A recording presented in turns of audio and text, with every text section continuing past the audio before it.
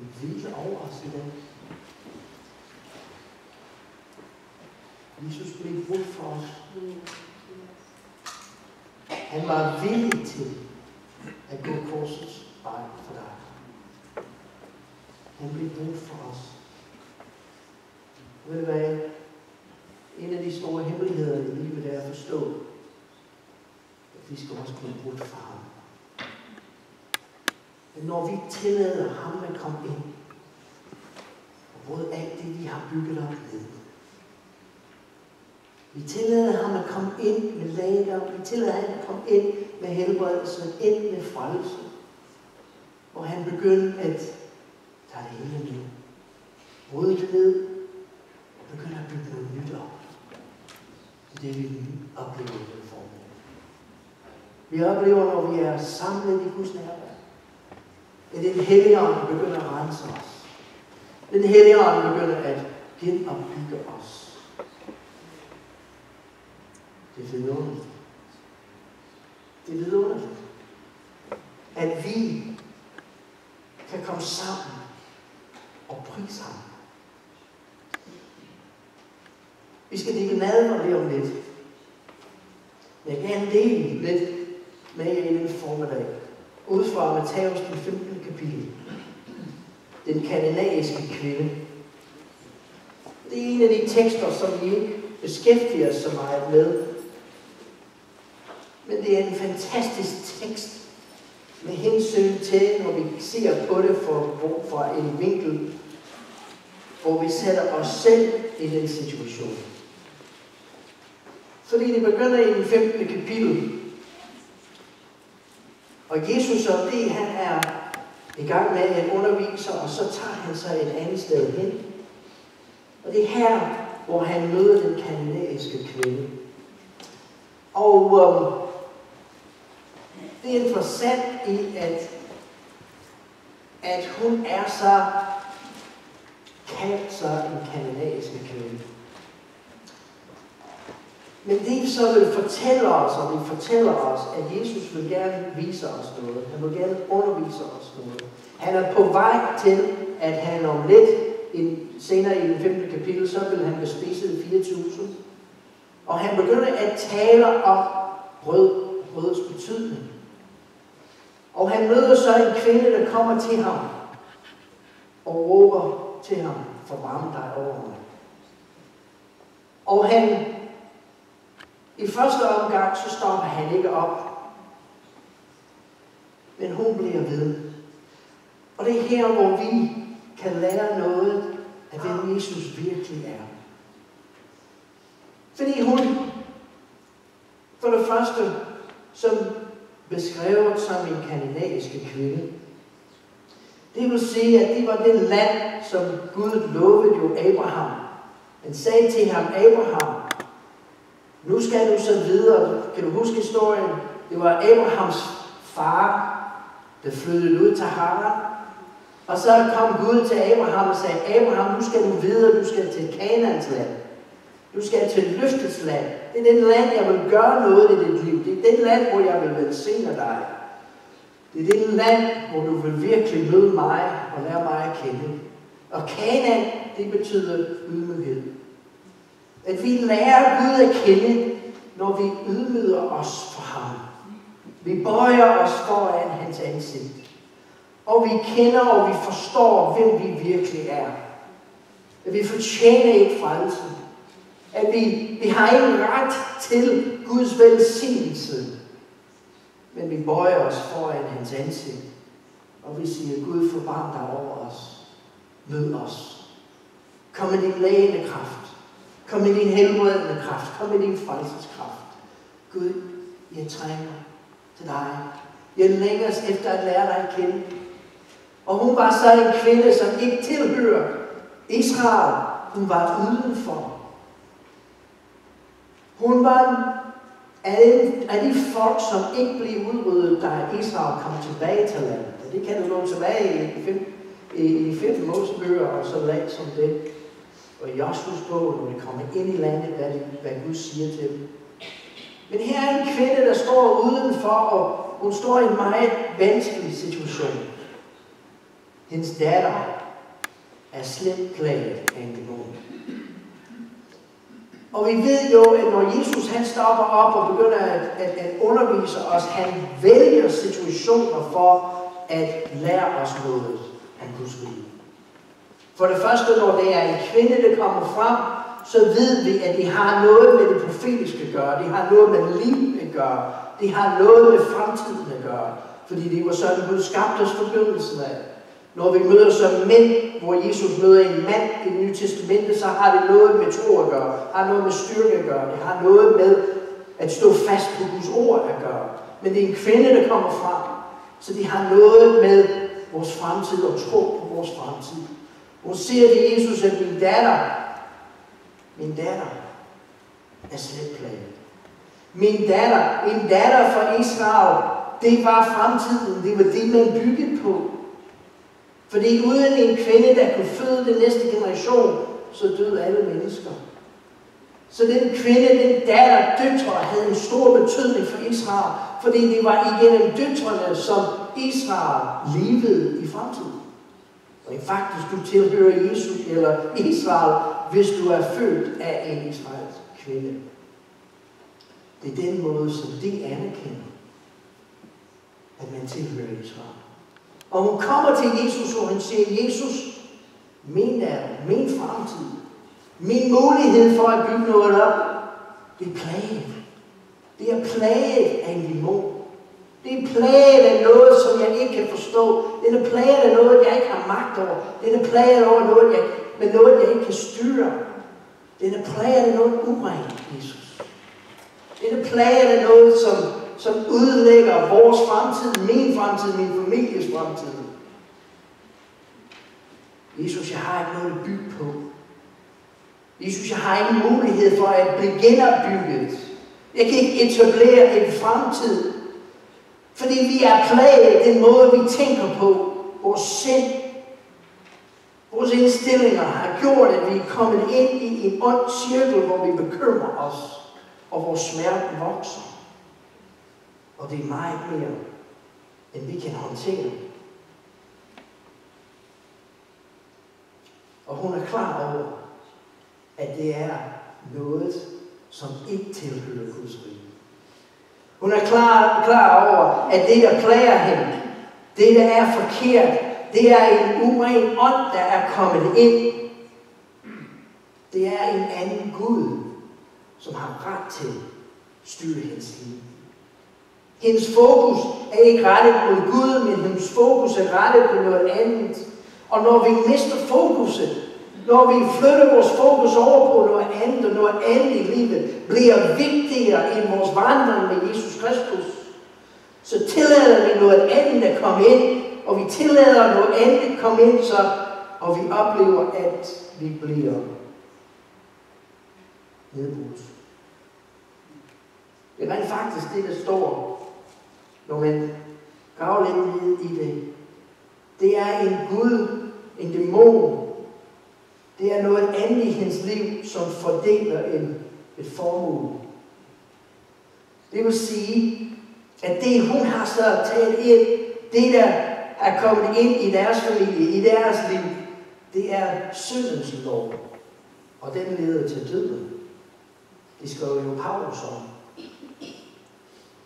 Men se, hun havde hørt, og hun havde set Jesus. Nu står hun i en situation, hvor hun er klar over, at hun tilhører ikke det, som alle siger, man skal for at kunne opnå Guds velsignelse. Hun tilhører ikke Israel. Og Jesus han kommer jo, og hun hører ham, og han ser ham, og hun oplever, hvem han virkelig er, og det må have været fantastisk at opleve Jesus. Fordi vi ved jo, at han lever i 33 år.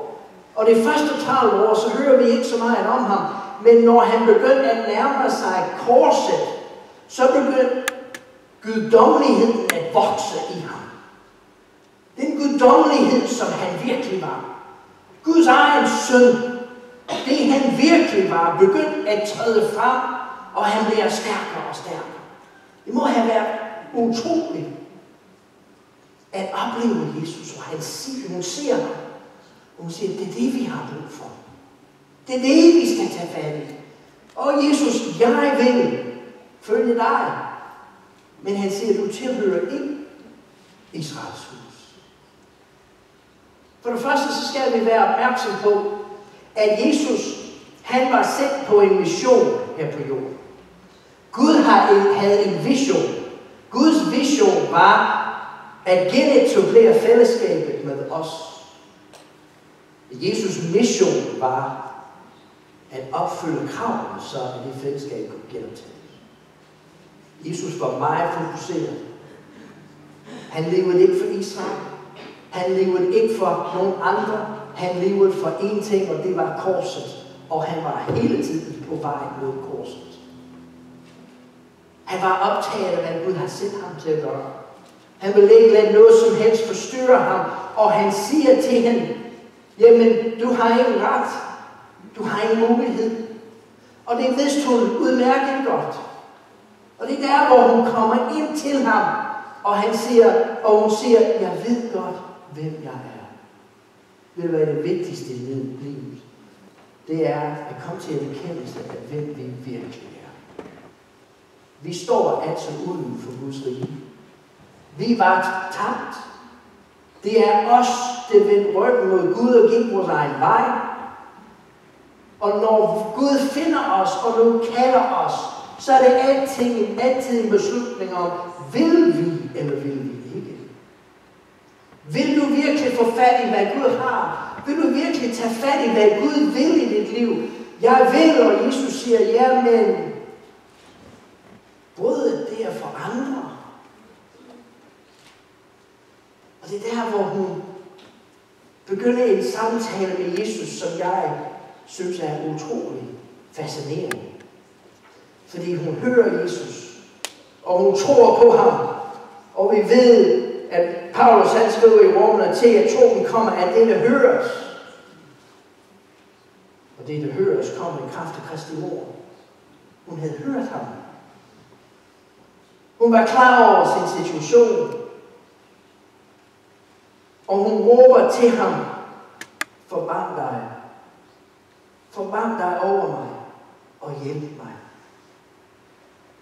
Ved du hvad, hvis vi har et udgangspunkt i vort liv, at vi virkelig vil gerne opleve Kristus i vort liv, at vi virkelig vil gerne vandre med ham, at vi virkelig vil gerne opleve Guds rige i vort liv, så begynder det altid med, at vi bøjer os foran ham. Og vi råber, Jesus, forbarm dig over mig og hjælp mig. Det er i bund og grund det bøn, som når ind til Guds hjerte. Det er den bøn, der når ind og giver os en mulighed at bygge en fremtid. Gud hjælp mig, fordi jeg kan ikke. Gud forbarm dig over mig, fordi jeg kan ikke finde vej. Gud mød mig. Gud gør noget i mit liv. Og Jesus han begynder jo at tale om brød.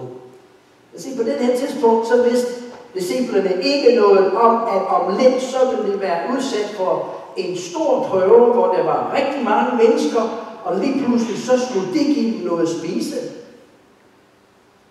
Og Jesus han er i gang med at undervise os og lære os.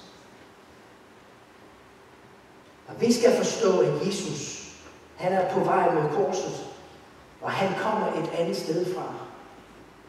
Han kommer fra et højere sted. Han kommer fra et større sted. Han kommer fra et mægtigere sted. Han kommer fra himlen ned til os. Han kommer til os. Jesus, han kom til os for at frelse os. Han var, som Paulus skriver i 1. Korinther 15, Jesus var den sidste af den sidste af Jesus siger til hende, det er ikke rigtigt. Eller rettere sagt, han siger, det er ikke min mission.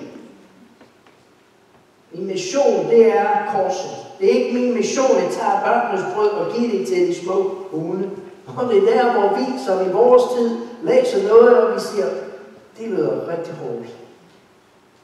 Og i oversættelserne igennem tid, så er det blevet udviklet til en passage, som kan blive rigtig svært at forstå.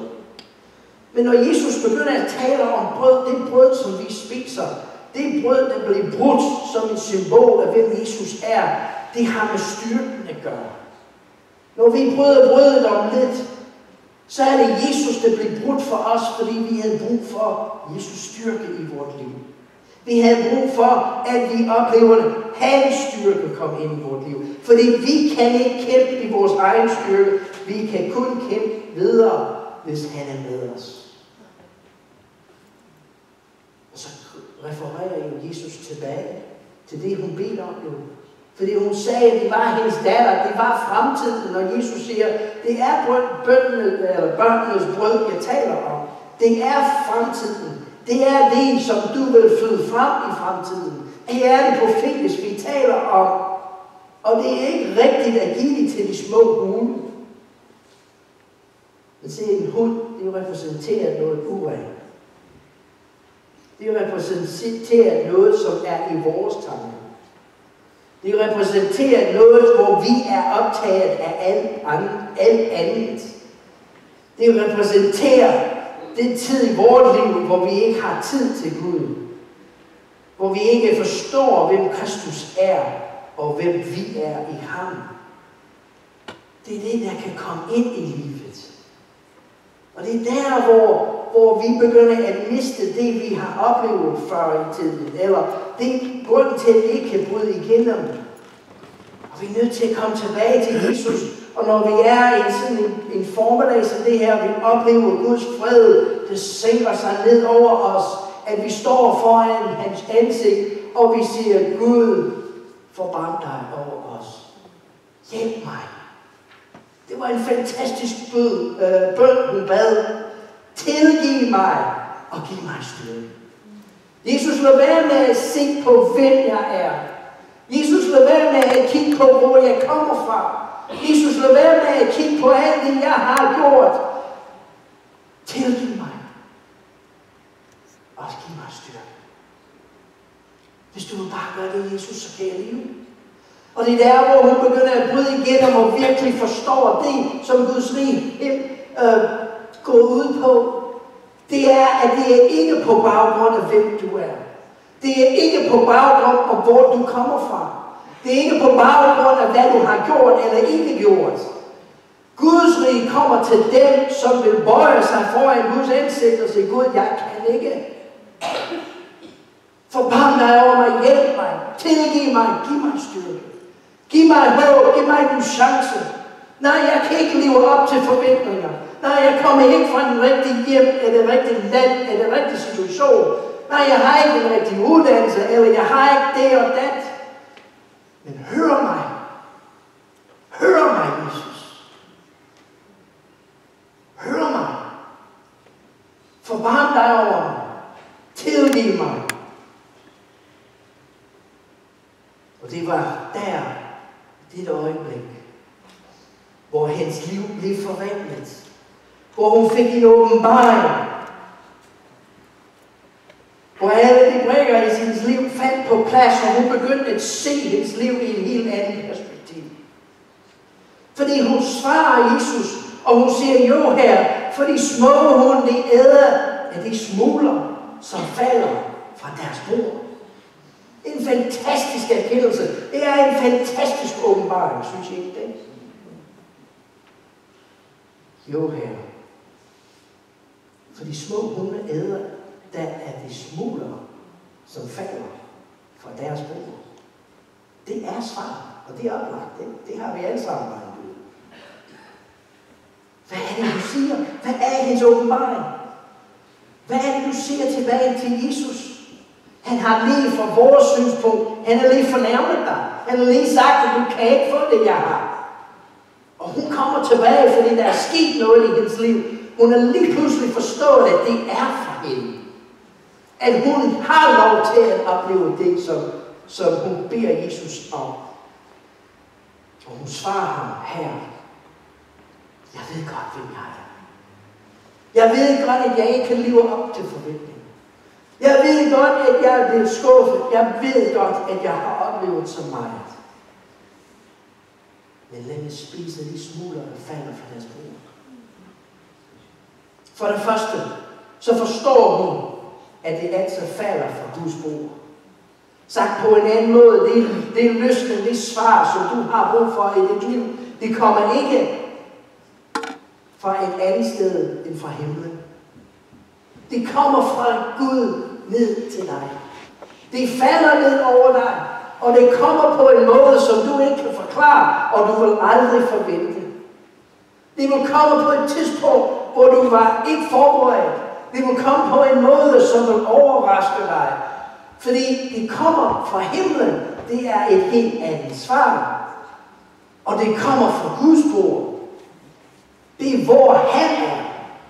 Det kommer ikke af mig selv. Det kommer ikke af det, jeg kan. Men det kommer til mig af Guds nåde. Det kommer til mig på grund af hans kærlighed til mig. Han kommer for at møde mig. Og det er der, hvor jeg skal spise. Det er der, jeg skal spise. Vi har oplevet det denne formiddag i Guds ånd, som er kommet ned over os. Vi har oplevet Guds fred. Hvorfor? Så vi kan spise af de smuler, der falder fra himlen. Fordi når der står, at hun ser, at hundene de æder af de smuler, det betyder, at det åbner deres sjæl og tager det dybt deres indre menneske. Og Gud, jeg har brug for at være sammen med dig. Jeg ved godt, at jeg ikke fortjener at være her. Jeg ved godt, hvem jeg er. Men Gud, du elsker mig alligevel. Du hører mig. Du ser mig. Du forstår mig.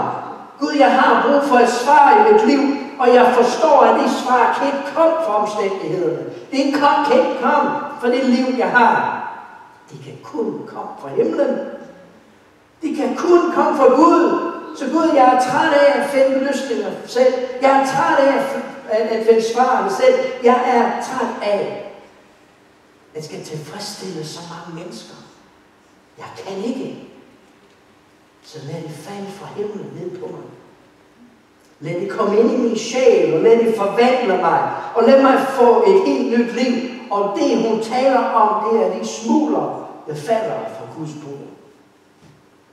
Og det er der, hvor man kan diskutere og tænke, fundere lidt over, hvorfor det bliver oversat, som det er. For det er de smuler, som hun taler om. Det er nøglen for os at opleve Gud i vores liv. Fordi det, hun forstår i det øjeblik, det er, at vi skal, vi skal rette vores blik mod Jesus. Og vi skal begynde at gøre noget. Fordi smuler, det betyder at lovprise og lovsøge Gud. At begynde at ophøje hans navn i vores liv. Vores tendens i livet, det er at kigge rundt omkring, se hvordan tingene er, begynde at bekymre os. Hvor Jesus siger nej. Hemmeligheden i dit liv, det er at på dette øjeblik løfte et blik og begynde at prise mig. Løft et blik og begynd at lovsøge og lovprise mig. Og så spørger du nok i dig selv i det øjeblik, hvordan i alverden kan du finde ud af, at lovprisning kommer ud af ordet smutter? Jo, det hænger sådan sammen. At den måde, man spiser det smuler på, det var, at man skulle plukke dem op. Og det var et ord, som var i Israel, var også i den gamle testamente, at det at plukke noget, at plukke noget, altså så spise det, det var samme ord, som hun bruger her med hensyn til de smugler. Det var det samme ord, man brugte for at plukke frugt, eller plukke noget og spise det. Og hvis du går tilbage og ser på, hvad for eksempel David det over, gjorde over for Saul, han spillede harpen, og han sang, og han lovpriste. Og det, der står, når, han, der, der står, at han spillede, det var, at han plukkede på det. Han spillede, og han lovpriste, og han sang. Og det er det, hun siger til Jesus. Hun siger, Jesus, nu forstår jeg, hvad du er ude på. Nu forstår jeg, hvad du siger. Du siger til mig, at det er ganske rigtigt, at jeg ikke kan. Jeg har ingen rettigheder. Jeg har ingen muligheder. Men i dag ligger min frihed. Der ligger min mulighed sammen med dig. Der ligger din sandhed og din kærlighed, at forstå, at jeg kan ikke. Men jeg får lov til af dig. Og Gud siger, begynd at prise mig. Begynd at prise mig. Begynd at løfte mig op. Begynd at proklamere et nyt liv. Begynd at proklamere, at han gør noget i dit liv. Og det er der, hvor Jesus siger, nu har du tro. Og på grund af din tro, får du, hvad du beder om. Troen kommer ud af, at vi hører Jesus, men at vi forstår, hvad han siger. Og når vi forstår, hvad han siger, så begynder vi at prise ham for det. Det er mange gange, vi ikke kan se det. Det er mange gange, vi ikke kan forstå det. Det er mange gange, vi kan ikke engang forestille os, om hvor de skal komme fra, eller hvordan de skal komme fra. Det er ganske rigtigt, fordi det skal komme fra himlen. Vores opgaver og hemmelighed i vores liv, det er at begynde at prise ham. Begynde at lovprise ham. Begynde at løfte hende op. Begynde at komme med en proklamering af tro i vores liv, fordi det giver en positiv indstilling til livet, og det åbner døren for Gud at gøre noget. Men hvis vi ikke priser Gud, hvis vi ikke ophøjer sit navn, hvis vi ikke gør det, han beder os om, så går vi i stå. Og når vi går i stå, så begynder vantro at komme ind. Og så bliver vi negative. Og så mister vi Guds forsidelse. Men Jesus siger til hende, du er i en umulig situation. Du har alle oddsene mod dig. Der er ikke en eneste ting, som jeg kan se, som, som vi der er ret til at få en del af Guds rige, og det siger hun til sidst, yes, det har du fuldstændig ret i. Men du hører mig, og jeg har set, hvem du er. Og han siger, at din tro har frelst dig. Det brød, som Jesus taler om, det er ham selv, der bliver brudt for os. Det er jo, han bliver brudt for os, så faldt en velsignelse ned fra himlen over os. Så kom Guds forsoningsværk ind over os, og den faldt ned fra himlen. Der var ikke noget, vi kunne gøre. Der var ikke noget, vi kunne gøre os fortjent til. Men vi kunne tage imod det og åbne vores hjerte og lade det komme ind i vores indre og lade det forvandle dit liv. Lad det gøre noget nyt i dit liv. For det er Lukas, det 22. vers og vers 19. Så stor, og han tog et brød, og han takkede. Jesus gjorde nøjagtigt det samme, som kvinden opdager. Han begyndte at prise her. Han begyndte at takke her. Han står over en situation, som er nok den sværeste, som et menneske nogensinde har siddet i. Han ved, hvad der ligger foran Han ved, hvad han skal igennem. Han ved, at det bliver mere, end han kan. Han ved alt. Og han har allerede bedt Gud, hvis det kan gå mig forbi, så lad det gå mig forbi. Men ikke min vilje, din vilje ske. Han sidder ved bordet, og han tager brødet, og han begynder at takke ham. Han begynder at prise ham. Han begynder at ophøje ham. Og han takkede, og han brød det. Og han gav dem det, og sagde til dem, dette er mit land, som gives for jer. Gør dette til i hukommelse af mig. Pris ham. Ophøj ham i dit liv. Jeg ved godt, at situationen kan være rigtig, rigtig slem. Jeg ved godt, at tingene, vi skal igennem, stormen raser. Tingene bliver anderledes, end vi havde forventet. Vi bliver mødt af ting, som vi ikke kan forklare. Men pris ham. Åbn døren, så at noget kan falde ned fra himlen over dig og, og i dit liv. Så at du kan lære ham at kende. Du kan lære virkelig, hvem Jesus er. Du kan få styrke af ham. Lad os bryde brødet sammen i dag. Og lad os kigge mod vores far i himlen. Og sige, far, lad din velsignelse falde ned over os. Vi vil prise dig. Vi vil ophøje dit navn.